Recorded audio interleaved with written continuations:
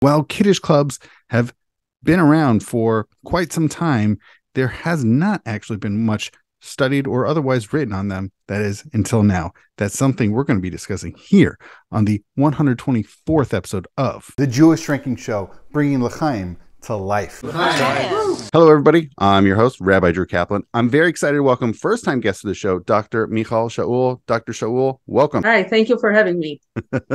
Absolutely. All right. For those less familiar with Dr. Shaul, she is the chair and senior lecturer in the Department of History at Herzog College in Israel.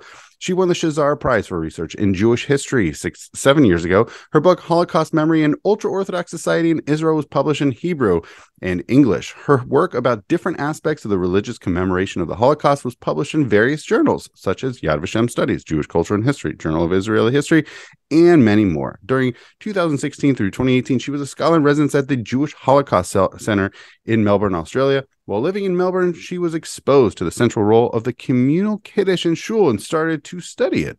The first chapter of her Kiddush study project, ooh, it's a first study, uh, first chapter, Kiddush Club, Fraternity, Authority, Class, and Gender Challenges in the Modern Orthodox Synagogue was published in Contemporary Jewry just this past August. So, Dr. Shaul, welcome. Thank you. Absolutely. So I, I just thought it was a one-off, but so this is a whole project you're doing into researching Kiddush stuff? Yes, but uh, as you said, I'm a historian, and my expertise being the study of the memory of the Holocaust. So that mm-hmm. should be your first. That should be your first question. Okay. Okay. what, what made me go from Kiddush Hashem to Kiddush clubs? okay, you I, or maybe you could have researched Kiddush during the Holocaust. What people yeah. did to drink. I don't know. But usually, all right. So fine, you know, I'll, I'll, pick up on that string. How did you go from the Holocaust study to this? People ask me, did you know, uh, research and moral deterioration from studying high quality, even sacred issues to dealing with popular and esoteric, esoteric culture. And okay. I admit that friends and colleagues raised an eyebrow when they heard what I was working on. It all started completely by chance. Okay. so, as you said, I, I, I lived with my family for two years in Melbourne, Australia. Mm-hmm. I was there as a researcher at the Holocaust Museum. Mm-hmm and then we davened there in the Mizrahi Shul. Mm-hmm. And one Shabbos, my daughter, who was four years old at the time, asked me to go out, outside with her in the middle of the prayer. As we disembarked from the women's section, I suddenly recognized that something was happening. I didn't know what's going on there. Yeah. So men left the prayer hall and began to organize something in the side hall. And it was very strange because I knew that it was still quite a long time until Kiddush. so I, I, looked at them and asked them, what's going on here? What mm-hmm. are you doing? That's how uh, this journey of observations and oversights and interviews there and in other schools all started in this accident. and I started looking into this phenomenon that I didn't know from home. Mm-hmm. And I wrote this academic article that you mentioned of this the secret world of Kiddush clubs. Mm-hmm. That was, and thankfully I got some very good feedback. So here I am. Well, I mean, and, so you publish this article. It gets published this just this past summer. I stumbled upon it in September, right around the Chagim, and it was certainly a fascinating study for a variety of reasons. But this is only is this only the beginning of a project? This isn't just an article. It'll be more. Yes. Okay, so what what what's the whole entire scope of this project? Is it all yeah, about kiddish clubs or kiddish in general? No, no, kiddish kiddish in general. And uh, surprisingly, no one ever written about it. And you're saying just a, Kiddush. Forget a, about kiddish clubs no one's written on, but even kiddish yeah, generally? Even kiddish, You know, just uh, Samuel Heilman wrote, uh, I don't know, half a chapter in the, in his uh, famous book about uh, synagogue life. Mm-hmm. But I, I asked Professor Sana, I wanted to read about it, not to write about it. When when I first introduced this, this phenomenon, you know, in, mm-hmm. in where I live, I live in a shuv in Gush Etzion. Mm-hmm. We have one kiddush in the yeah. entire year in the in Simchat Torah. Oh wow! So, and when I read and when I realized that in Melbourne, just as in Mizrahi Shul, you know, in you know that you live in the states, that there mm-hmm. are few minyans in this center Mm-hmm. There were five, cent- five minyans in the Mizrahi Center, and each one of them conducted a kiddush weekly. Mm-hmm. it's so important for so many Jews. That's the most the the Jewish experience of the week, and apparently so central. Mhm. How come no one had ever written about it? You're saying it's social So- history, right? A social history. Yes. Okay. Yeah.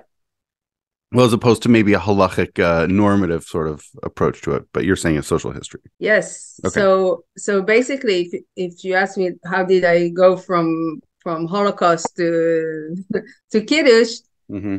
I think it's it's what I'm the shift I made. It's not so dramatic because I I was always interested in questions like how does a community created and how how does it go and what motivates people Well, also Jewish and, life. yeah stuff It- it- it's Jewish really life. about liveliness in Jewish life. yeah yeah grassroots history Okay. Okay. Wait, I'm so I'm really shocked. So kiddish clubs, I, I mean, I have a lot of questions on, but you're saying even just kiddishes in general, just really yeah I think it's gonna hopefully you're gonna invite me again for the next yes. next coming episodes and, and we discussed uh, my next my next chapter chapter that's going to be published in July. Mhm. It's going to be Kiddush as a carnival, Wow. and I think it's fascinating. great. I'm If I okay. can say, Absolutely. It's, it's a good tease for the future. Okay. yeah, So you know what? I, I'm just going to start off. I know this was. I don't know if this was covered in your article or not. How far back do Kiddish clubs date? Because I Okay. don't uh, like. In addition to obviously nothing ever having been written about them, but also it's hard to discover information about Kiddish clubs because as opposed to shuls or even just Kiddishes, that stuff is going to be published on websites, on newsletters. It's going to be out there. It's going to be very public information. But Kiddish clubs don't rely on information that's just out there. They don't necessarily promote or otherwise publicize information about themselves. They happen. Yeah. And uh, aside from that, I mean, I know 2004, 2005, there were the Orthodox Union in America published, you know, some sort of letter of concern that these should stop. So I don't know if it's a rather recent phenomenon in the last two, three decades. Um, what what have you discovered about the the recentness or history of of them? despite the proliferation of the Kiddush clubs, the phenomenon has not been at the focus of synagogue research, surprisingly. Mhm. And of course, I couldn't examine all the synagogues in the Western world and all the Kiddushim that are performed in each one of them, not even some of them, it's hmm for sure, yeah. Uh, but I've gathered the information about uh, Kiddush clubs from, firstly, from the observations I made uh, during Kiddush club meetings in the synagogue in Melbourne, Australia. hmm I made some interviews with members of uh, various Kiddush clubs in, in, Israel and in the USA. hmm I sent a questionnaire to my students and colleagues, and which was answered by hundreds of national religious Jews living in Israel. hmm And from information that can be found on the internet and the social media, I did find uh, things. And apparently, I discovered that from a historical perspective, the Kiddush Club is less postmodern, less uh, innovative, less Ashkenazi, and less subversive than ap- appears at first sight. Moreover, the, the custom of going out for a drink in the middle of the prayer service is not an exclusively Ashkenazi practice, but rather one that has been found to exist in other contemporary ethnic communities as well, like such really? as Moroccan, yeah, and Tunisian and Yemenite communities. wow. Uh, these they don't call it Kiddush clubs, and they don't they don't consume whiskey, but rather uh, wine or arak, Or machia.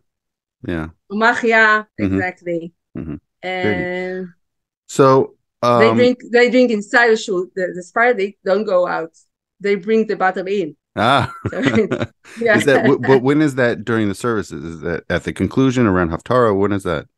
around Haftarah. Yeah. Oh, really? It's, a, Wow. ref- it's, a, it's a refreshment, you know. Wow. That's it- actually it really all- I think it all begins. It all begins. uh, The the davening, the the prayer is too long. Yeah, Yeah it's a, it's a good it's- it's a good intermission to bring in the machia or the arak during Haftarah. That's great. Um, actually, you know what? Since you started talking about geography, so one thing that blew my mind in the article, even though it might sound kind of obvious, but I, I just had never experienced or otherwise thought about this. It really, you position it as really an, a sort of an Anglo Jewry phenomenon, whether South Africa, Australia, UK, US, Canada, um, certain. Um, uh, I mean that that was so fa- fascinating. I mean, it does.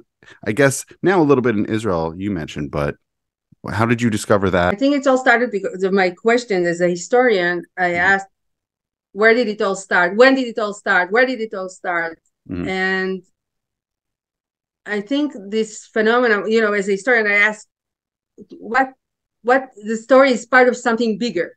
Mm, So what's what's the bigger story? Yeah. And I realized this this phenomenon, the Kiddush Club, should be examined as part of the male uh, urban experience, Hmm. the club culture in general, and wine clubs in particular. So the Kiddush Club is usually a male bonding experience. mhm, So I thought it's similar to the 19th century gentlemen's club and other type of men-only club clubs. So it's designed to to allow men to relax and bond with one another. mhm, And if if you think not in Jewish perspective, in uh, modern perspe- perspective, so Mhm. clubbing is the most common international urban experience among young men, Hmm. Espe- especially among the financially secure, and Really? specifically on week on on weekends. Hmm. So it's it's a Jewish experience, but it's a part of global experience. Hmm. So I think that you, you should look at it. Um, I, I I heard that you mentioned in the previous chapter uh, Mhm. about Kiddush Club. You interviewed someone else. You mentioned it that you bumped into this uh, blog of it's called Seforim that mentions uh, um, Yes, the uh, Sfarim blog. Yeah. Shuda Responsa. Yeah. Yeah. That apparently mentioned that in the 16th century in Ashkenaz, Yeah. there were young men uh, uh, walking out of shul in order to drink a little. So yeah. It goes back. it's not new. I guess maybe part of my question is maybe this I don't know, maybe this particular expression of the phenomenon. Maybe that's more re- like I don't know what prompts maybe I have to ask the Orthodox Union people, but what prompts this letter in 2005? Was it not that common in America maybe per- particularly to America, maybe not that common pre 2000. Yeah. I don't know. So the debate in the last two decades uh, has increased increased in both directions. I think so. Hmm. The the Kiddush Club has become a more organized and more uh, lavish event, and it Mhm. draws more vigorous and more organized criticism. So it goes Uh-huh. together, and I I think the the current, you know, what um, the straw that uh, how do you call it? How do you say that? I need your The help. straw that broke the camel's back. Exactly. So Yeah. the straw that broke the camel's back is Mhm. uh, a terrible incident that uh, kids were brought to the hospital because of overuse. They they drank too much. That made uh, the rabbis of the OU to to do, to to ban the Kiddush club. Hey there. I hope you're enjoying this episode so far with Dr. Shaul on her research into kiddish clubs.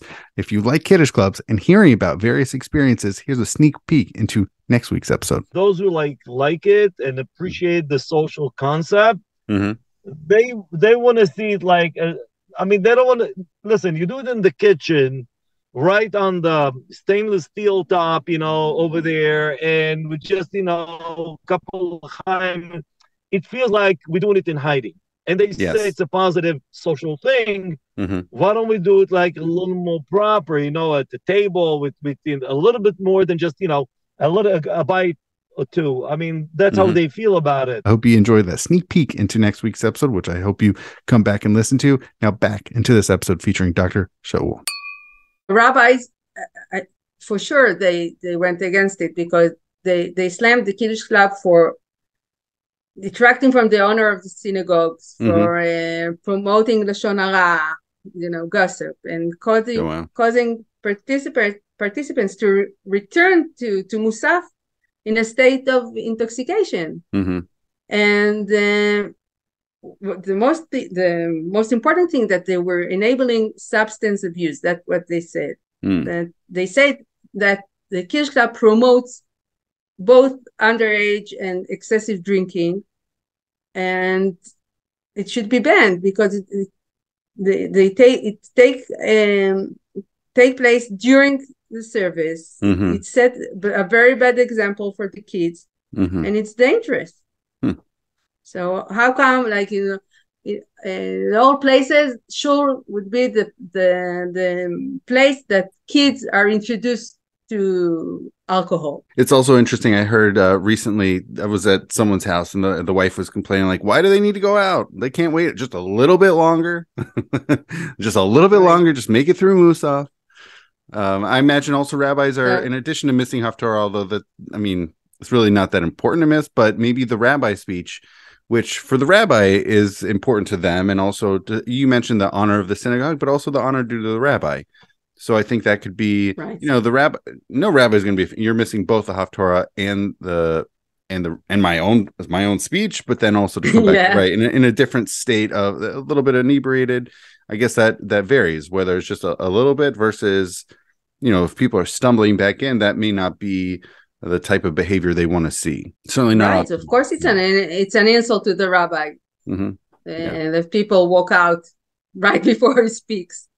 Yeah. and moreover the the word kiddush Mhm. means uh, the creation of a holiness hmm so the the existence of kiddush clubs as an alternative ritual during the the prayer service appears to undermine the sacred nature of the synagogue you know Hmm. if if you look at it Hmm. the, the core of the ritual is all those things that are forbidden in the prayer hall like you can't drink drinking and Mhm. eating and schmoozing hmm so yeah.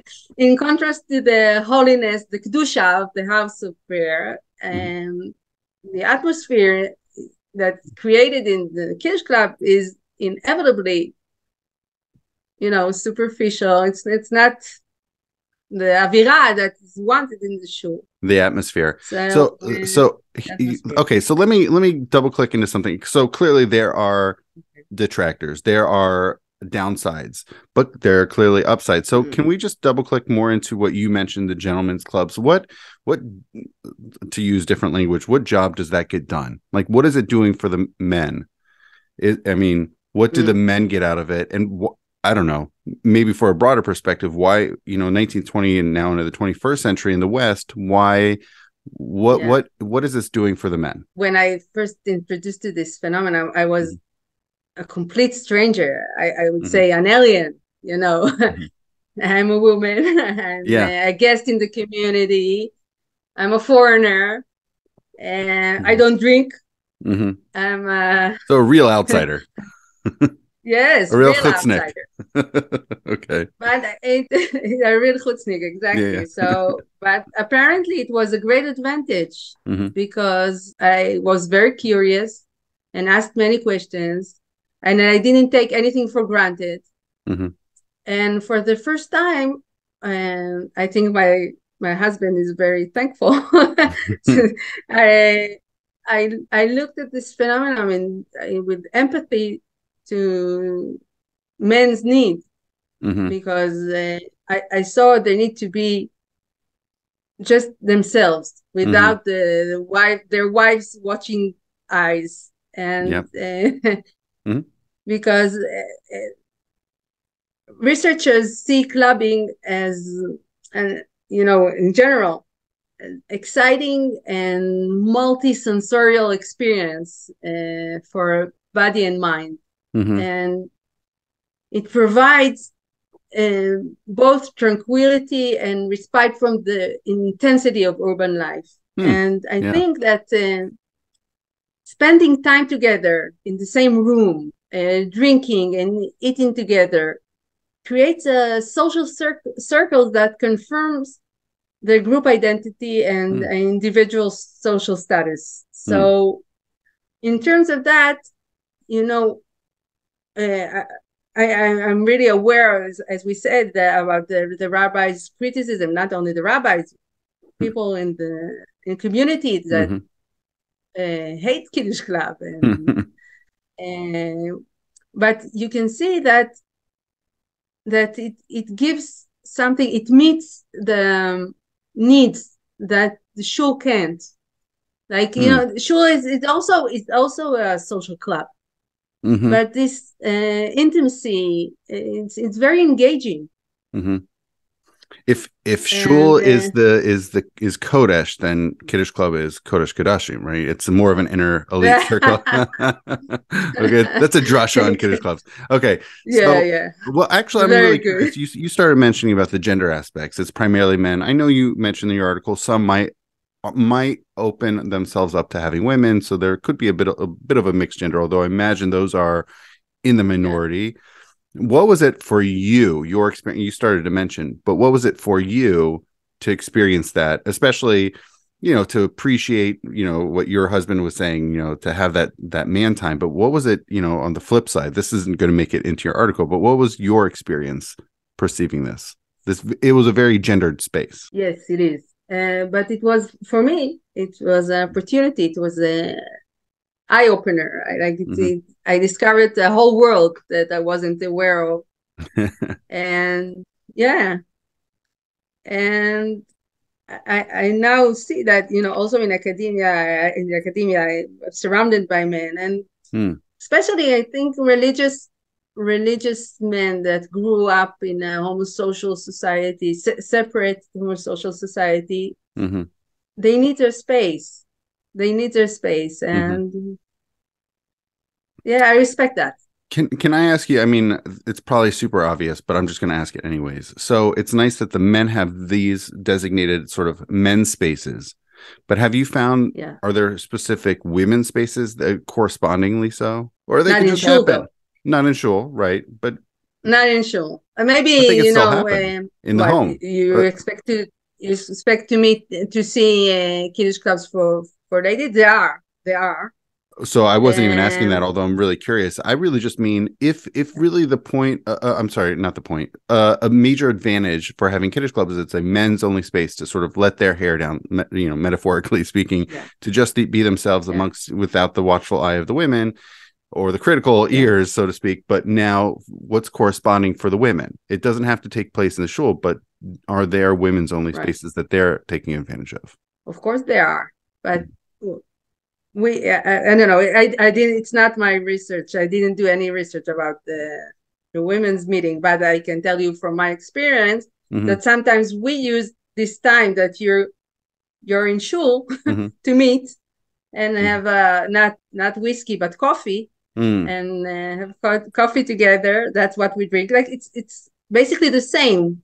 yeah. We sit and and drink and have our base Yeah. without you, and Yeah, uh, we're Yeah, happy. Right. There- I mean, there's something to be.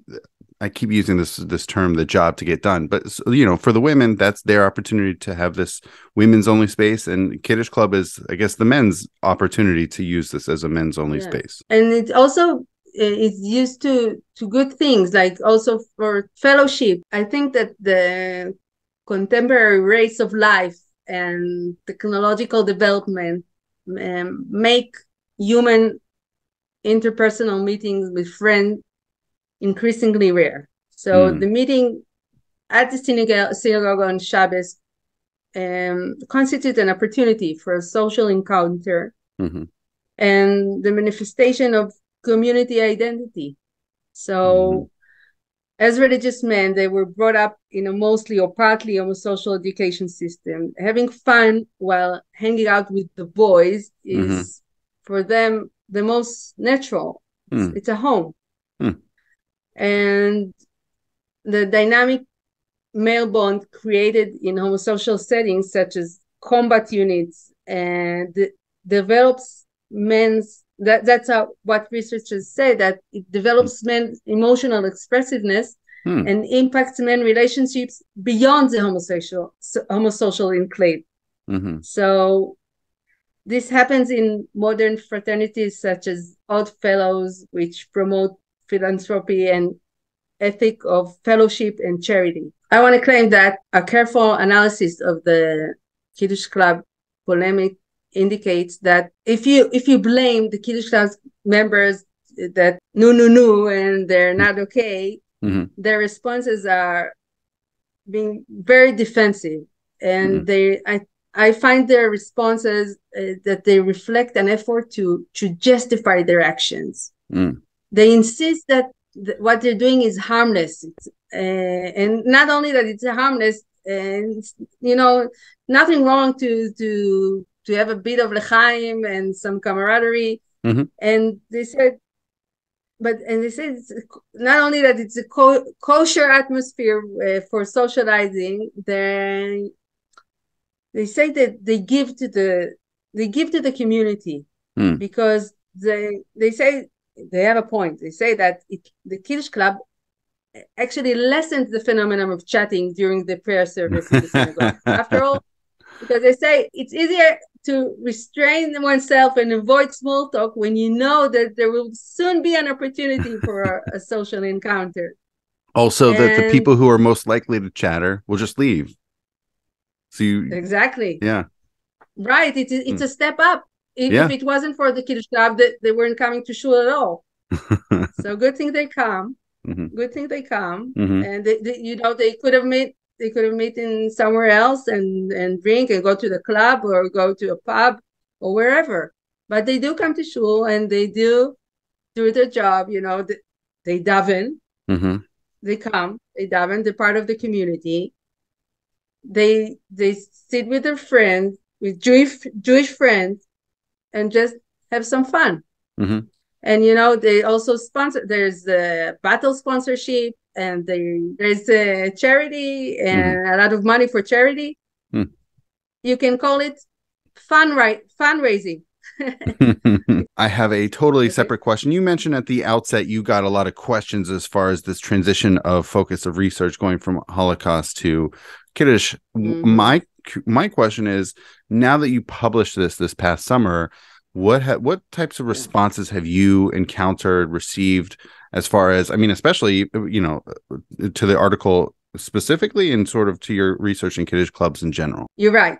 In the past, uh, writing about a popular issue was considered unacademic.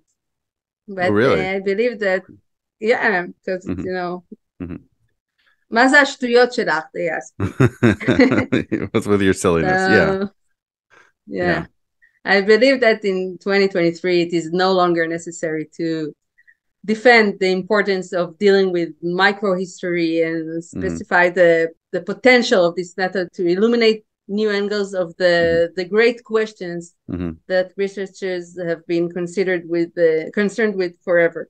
Yeah. Wait, so, you're- you're because as saying- you know, alongside alongside the heavyweight issues at stake, Judaism includes elements of entertainment, which is Mhm. part of any culture. Yeah. So, I think to in in order to understand better, uh, to better understand Judaism and our culture and Jewish civilization, Mhm. you must include not only the suffering, Hmm. but also you know the it's part of our culture and of course Mhm. wine and drinking i don't have to tell you you're the number one expert and it's part of our culture Absolutely. So it sounds like your response here is specifically to fellow academics. Is that what they're asking you?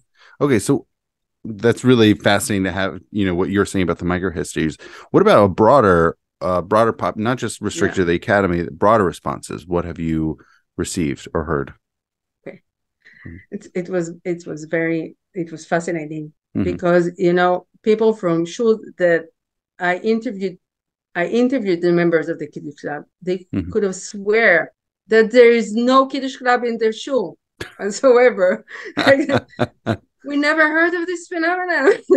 I said you have it you know for 10 or 20 years every shabbos. But they weren't aware of it wow. you just weren't invited. That's the, that's the thing. I get all kinds of responses uh, Yeah? people are shocked. Yeah people are happy that i told their story Mm. and, and concluded it into the the big story. Hmm and now they're part of the sh- of the sh- shul life. The, syna- the synagogue's life is uh, is much more than davening. Mm. you know it's it's a whole world. In america for sure and uh, you know in overseas not in israel in israel it's a different story. Hmm but you know in america uh, jewish life is is around shul and Mhm. it's you know davening is one part. And and i'm Mhm. not sure it's the most important one and uh, Yeah. it's a Saturday morning club, and that's what Hmm. fascinates me. Hey there, I hope you're enjoying the show. want to break in. If you are enjoying this content, if you enjoy the show, if you enjoy other content I publish here with whether the Jewish Drinking Show or jewishdrinking.com, it's not just a website, it's not just the internet. I also exist in real life. I've spoken here in Southwest Ohio as well as just the other month out of town in a couple different places, both Midwest, East Coast. I'm happy to actually bring Jewish drinking content to you, whether JCC, synagogue, Jewish organization. You don't even have to be a Jewish organization. You want to pay me, you want to have me bring insightful and lively content your way. Happy to do so. You can feel free to reach out to me at drew at jewishdrinking.com and we can see how we can bring the L'chaims to life. All right, now back into the show.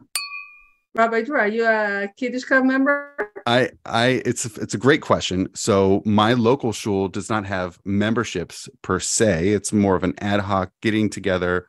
Few guys on once in a blue moon, a woman will be there, but really it's it's a guy space. We have some crackers, we have some meat, we have wine. uh, Once in a once in a while, maybe even some whiskey or tequila, and then Meanwhile, a few weeks ago, I spent Shabbat by my sister in Massachusetts, and the Kiddush Club there was organized. They had not only memberships, but people used paid memberships into a bank account, and they used the bank account to buy their booze, their crackers, their their nosh, their snacks for the Kiddush Club, and it was a very different set of, of an arrangement. Right. So eh, I, I imagine I can only imagine it just continues to get more and more diverse and, and variations on the theme of how organized. Or I know you mentioned in the course of the of the show the conversation about having even bottle sponsorship. So that's even another level. I imagine you can have people saying we're going to. There's so many different ways people can get organized about this, or have who's bringing the bottle this week or next week, or is there a, what type of food are we bringing? So I imagine it's a huge variety around these issues. This was the most uh, um, interesting part of our discussion, Oh, and I wonder if you if you read my article, does it sound familiar? yes, I Like mean, you identify your your club in what I've written. well, it's such a variety. I mean, Yes. some of this is really just what do people experience, and so it's Mhm. kind of like anthropological field notes because there's no a there's no playbook aside from there's Right. drinking. I mean, yes, it's typically wine or scotch, sometimes bourbon, very rarely tequila or rum. But that I mean, we happen to have a It's in tequila the guy. middle of, but you're going uh, Yeah, during so the Haftarah? yeah the haftarah comes out we we uh go to our designated spot which sometimes changes and then some of us try to make it back in time before the rabbi speech and then some of us that's not a priority and they just try to make it back for musaf or at some point in musaf so it, it can vary and So- it's it's a mix it's usually the same few guys but then you can have a three to five other guys who might join in depending upon the week In rich communities, uh, members of Kiddush may drink whiskey that costs as much as hundreds of dollars per Mm-hmm. bottle, while in more modest Kiddush clubs, less pricey and more standard fare is served. Yet Mhm. They will still be presented as exclusive. Like you must taste this Mhm. crackers, like it's unbelievable. yeah and it's not only about money; it's also about social capital Mm. because um, gossiping and joke telling um, Mhm.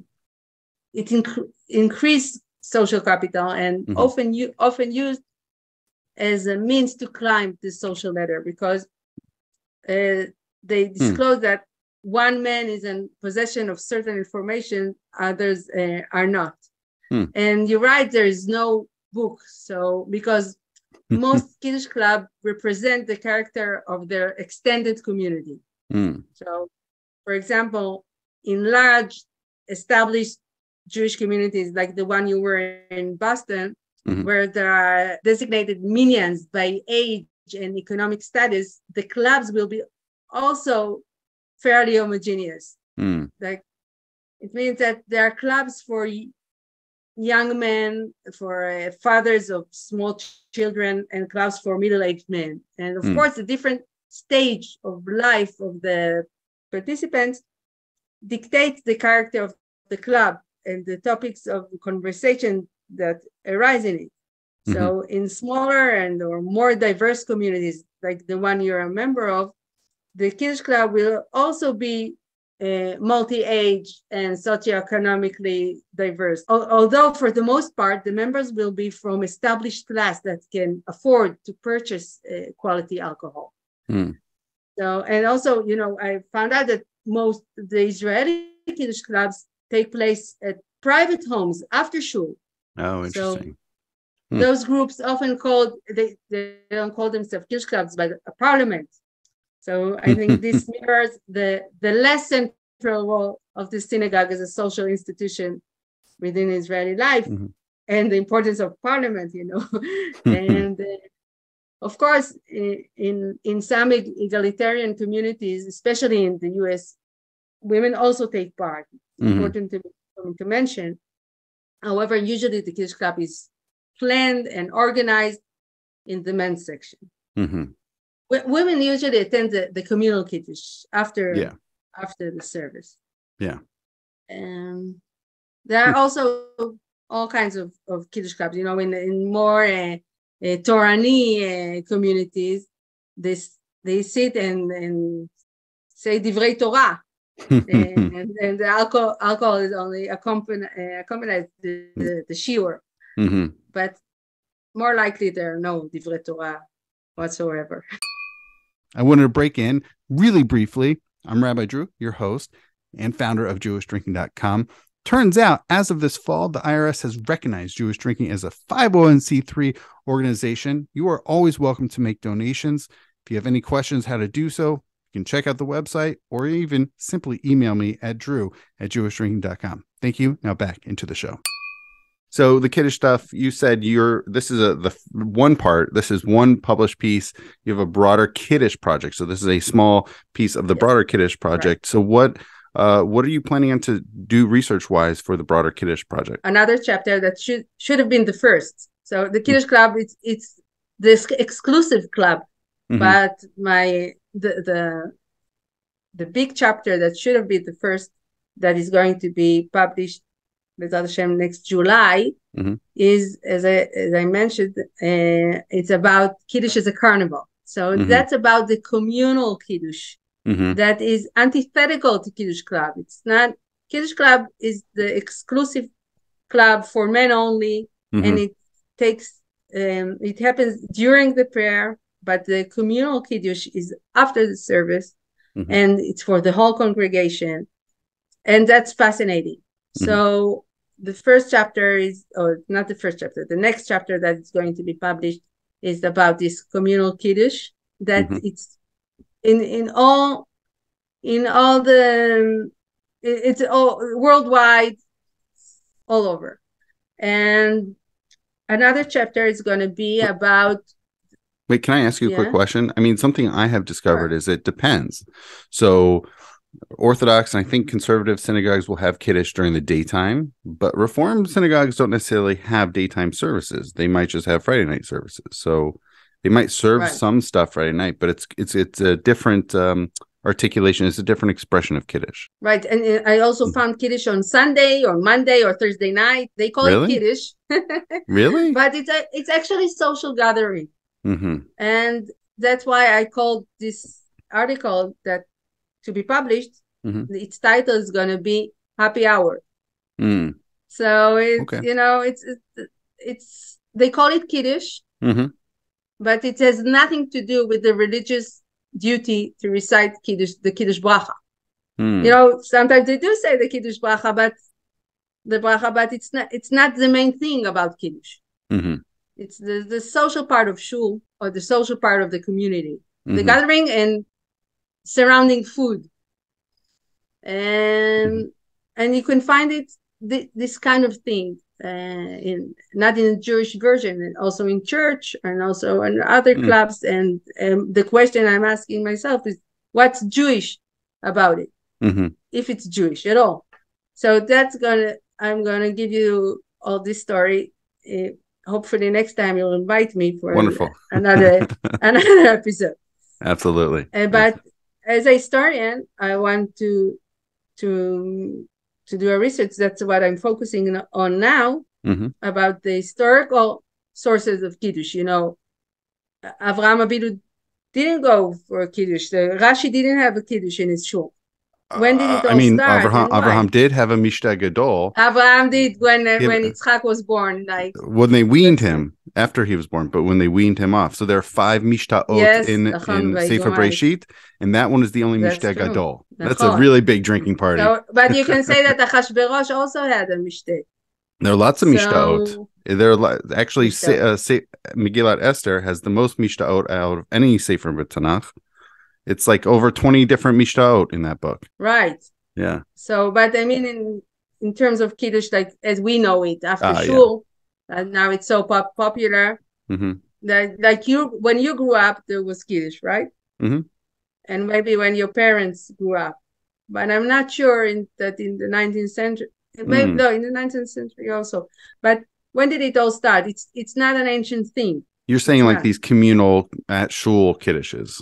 That's The uh, yes, Uh-huh. Kiddush Kiddush luncheon. Interesting. So I asked uh, Professor Sarna, and he said, "I don't know. I'm waiting for your conclusion." And this this Professor Sarna is the same who was the guest on the hundredth episode of the Jewish Drinking Show. I'm excited for your research, and you know maybe you'll even come to Cincinnati.